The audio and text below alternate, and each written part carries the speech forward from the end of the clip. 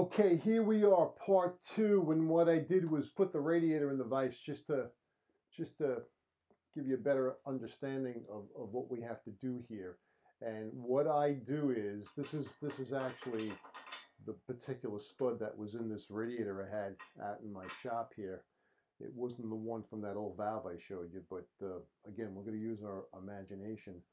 Um, what I do now is that this is not going to screw out. Uh, you can, even with use of this spud wrench, it's not going to screw out because this has been welded in and you can put a wrench on here and nothing's going to happen. Trust me. Uh, been there, done that. It absolutely is not going to come out.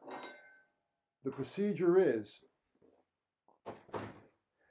what I do is I come in with my hacksaw and what I like to do is I cut this off and what I like to do is I like to keep two or three threads, actually two or three threads beyond the radiator, keep them sticking out. I just cut this whole thing right off. I cut this, I shear it right off. And then what you end up with is just a plain end. You, you end up with two, three threads sticking out of here. Okay, so just for the sake of this demonstration, make believe we cut this collar off so we have this, this uh, this union joint here, if you will, or the spud joint with the union cut. This is, we cut this right off, you shear it right off, get rid of it, throw it away. You're left with these threads here. What I do then is I go in with the mini hacksaw or a hacksaw blade. You're welcome to use a hacksaw blade. Um, if I'm going to use a hacksaw blade, it's probably got 24 teeth per inch on it. I'm going to use, uh, you know, a, a little hacksaw blade holding tool where you can put a single blade in there. And then what we're going to do is we're going to go in and we're going to cut this. We're going to cut inside the radiator. We're going to cut and we're going to cut and we're going to make a nice slit in the brass up close to the radiator, but we don't want to nick the radiator. Again, we don't want to cut the radiator. We just want to cut the nipple or cut the uh, remaining part of this spud. Once we do that, we're going to grab a caping chisel. We'll start on one side, the left side or the right side, it doesn't make a difference. Left side or right side of the cut. We're going to come in here and we're going to whack this, we're going to whack this down on each side until that totally collapses. And when that totally collapses, it's going to end up looking something like this. You're going to have two pieces that are going to actually collapse and sometimes it'll stay together. In this case it actually broke. It broke in half and that's going to be nice and clean in there and then you're, you're ready to move forward and put your, your new spud in there.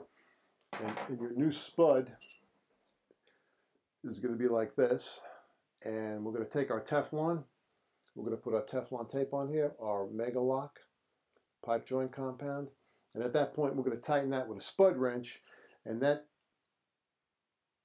gets tightened through use of these two little protrusions there. If you can see these little two little uh, nibs here, if you will, that allows the spud wrench to grab on to the spud here. And what happens is it allows that to turn. So that'll just turn and screw right into the radiator valve. So we're going to screw that in. We're going to snug that up with a 14 inch wrench here. Once we get that good and snug, then we can marry the radiator back to the radiator valve like this.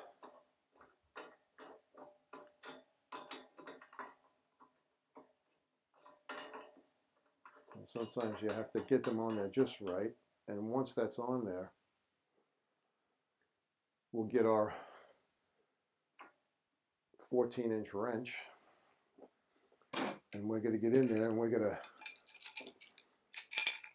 we're just gonna we're gonna snug that up. And you just change the radiator valve guys and you probably you know I don't know if you're gonna do it in 20 minutes but I get them done in 20 minutes.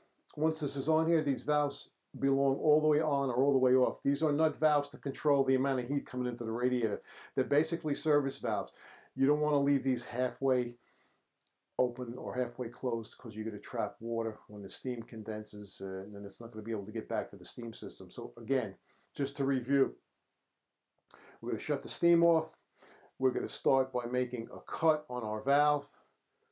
Diagonal cut either right or left, whatever the case may be. Once we do that, we're going to go in there with our cold chisel We're going to pop that. So we pop the valve. We'll proceed to the collar. We'll try with a wrench. That doesn't work. We're going to come in. We are going to get our hacksaw. We are going to make diagonal cut here. Once we get that cut all the way down, we're to come back with our cold chisel. We are to pop this baby, and that's to pop right off. Next thing we're to do is come in with our hacksaw. We're to shear off the spud, leave two or three threads sticking out. After we got that done, we go in there with our hacksaw blade or our mini hacksaw. We're going to proceed to, to make a cut on the inside. Then we'll get our caping chisels and collapse this. Get our new spud prepared, screw that into the radiator, marry the two together, and you're done, guys. That's it. Very, very simple. Uh, the last thing you don't want to do is try to take these off with a wrench, with a breaker bar, with some leverage, because I can tell you that you're going to break the thing under the floor and you're going to have a very big plumbing job on your hands. And I know you don't want to do that because you don't want to call guys like me in to, to make a repair like that. Guys, I want to thank you for stopping by bobsplumbingvideos.com. I enjoy you coming by. I hope you're enjoying the stuff. I hope you're getting some useful information out of it. And I look forward to seeing you guys in the next video. And as I always say, happy plumbing. Take care. Thank you.